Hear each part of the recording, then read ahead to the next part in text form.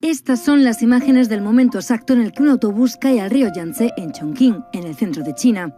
Una pelea entre una pasajera y el conductor fue la causa del accidente sucedido el pasado fin de semana en el que murieron 15 personas, después de que el vehículo se precipitara desde un puente al río Yangtze, el más largo de China.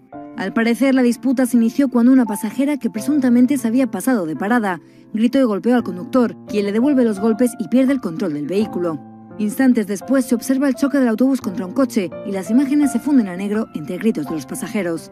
Tras varios días de búsqueda, los equipos de salvamento utilizaron un sistema de sonar para hallar el autobús, hundido a 71 metros bajo el agua y a 28 metros del puente donde ocurrió el accidente. Finalmente consiguieron sacar el vehículo del agua y hasta el momento han sido rescatados 13 cuerpos sin vida.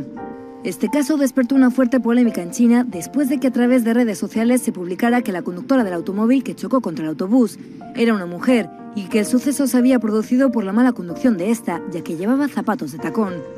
Tras las imágenes publicadas se confirma que la mujer, que sufrió heridas leves y se encuentra en proceso de recuperación, no tuvo ninguna responsabilidad en el accidente.